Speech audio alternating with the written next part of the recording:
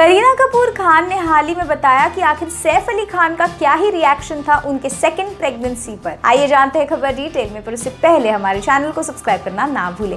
नमस्ते दोस्तों, मैं उशल जवान और आप देख रहे हैं मूवीज़ अड्डा दोस्तों, मैं ये बता दूँ आपको कि करीना कपूर खान के जो पहले बेटे हैं, तैमूर अली खान, वो तो मीडिया के डार्लिंग है ही। पर इसी के साथ साथ जब करीना कपूर ने ये अनाउंस कर दिया कि वो दूसरे बेबी को एक्सपेक्ट कर रही है। तो सभी का अभी ये उत्सुकता थी कि आखिर सैफ अली खान का क्या ही रिएक्शन था। मैं बता दूँ आपको कि सैफ अली खान का ये फोर्थ चाइल्ड होने वाला है आफ्टर सारा अली खान, इब्राहिम अली खान, तैमूर अली खान और अब आएँगे नए छोटे से मेहमान इनके घर में। तो जब करीना कपूर को पूछा गया कि क्या ही था सैफ का रिएक्शन तब वो कहती है कि जितना फिल्मी आप सब सोच रहे हैं, उतना फिल्मी नहीं था। क्योंकि जैसे मैं बता दूँ आपको कि सैफ जो है, वो बहुत ही मेच्योर्ड है रिलैक्स्ड है, वो हैप्पी ज़रूर थे, वो खुश ज़रूर थे, पर उन्होंने बहुत ही मेच्योरली उस डिसीज़न को एक्सेप्ट किया।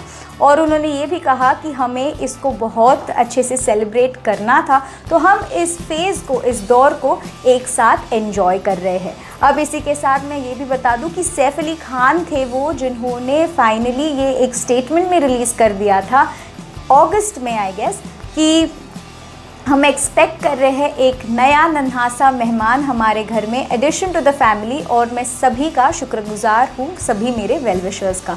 जी दोस्तों तो क्या है आपकी राय? क्या लगता है आपको? क्या ये जो नया बेबी आएगा, क्या ये पतौड़ी अली खान जो फैमिली है, उसमें से अभी तैमूर का जो अटेंशन है, वो चुरा लेगा। क्या लगता है आपको? बताइए हमें in the comments below we are waiting to hear you this is शुल्का Chauhan signing of